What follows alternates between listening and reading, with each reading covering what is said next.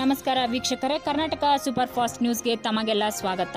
ಇತ್ತೀಚೆಗೆ ಸುರಿಯುತ್ತಿರುವ ನಿರಂತರ ಮಳೆಯಿಂದಾಗಿ ಕೃಷ್ಣಾ ನದಿಯ ನೀರಿನ ಮಟ್ಟ ಗಣನೀಯವಾಗಿ ಹೆಚ್ಚುತ್ತಿದ್ದು, ಪ್ರವಾಹದ ಮುನ್ನೆಚ್ಚರಿಕೆಯ ಕಾರಣ ಜನರ ಹಿತರಕ್ಷಣೆಗೆ ನದಿಯ ತಟದಲ್ಲಿರುವ ಅಂಕಲಿ ಗ್ರಾಮದಲ್ಲಿ ಸಂತ್ರಸ್ತರ ಕೇಂದ್ರ ನಿರ್ಮಿಸಲಾಗಿದೆ.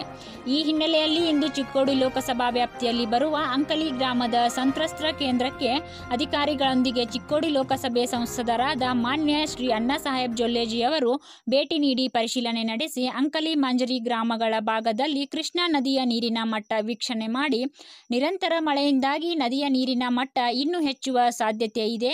ಈ ಹಿನ್ನೆಲೆಯಲ್ಲಿ ಅಗತ್ಯ ಮುನ್ನೆಚ್ಚರಿಕೆ ಕ್ರಮ ಕೈಗೊಳ್ಳಲು ಅಧಿಕಾರಿಗಳಿಗೆ ಸೂಚನೆ ನೀಡಿದರು.